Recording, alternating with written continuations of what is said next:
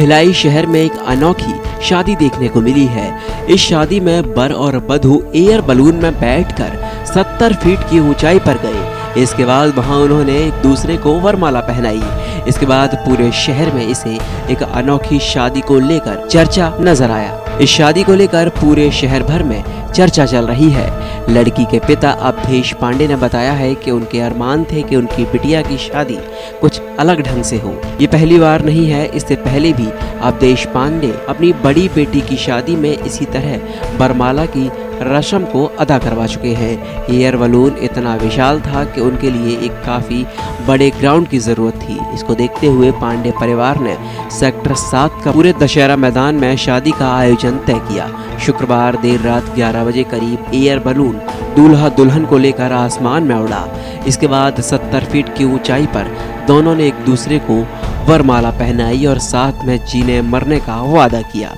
Air balloon उड़ाने वाले expert Rohit ताज ने बताया है कि वो लोग बीकानेर से आए थे। वो पहली बार भिलाई एयर बैलून लेकर आए थे।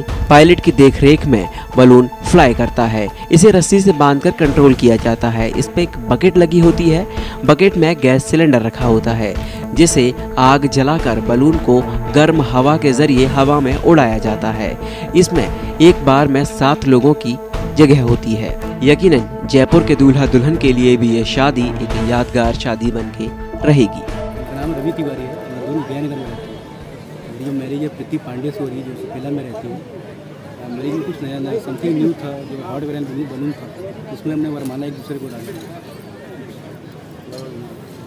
कैसा एहसास लग रहा है?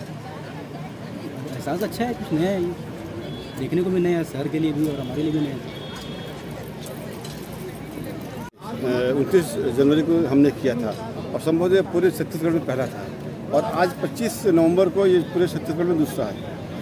बेटा हम लोग परी मानते हैं। और जब परी मानते हैं तो हमारा धर्म भी होता है कि हम परी का विवाह वरमाला आकाश और ज़मीन के बीच में करें। ये हमारी इच्छा थी हमने किया। और पांडे परिवार की ओर से हमने अपने आए हुए मेहमानों को एक हज़ार एक पौधों का वितरण भी किया पर्यावरण की सुरक्षा के दृष्टिकोण से।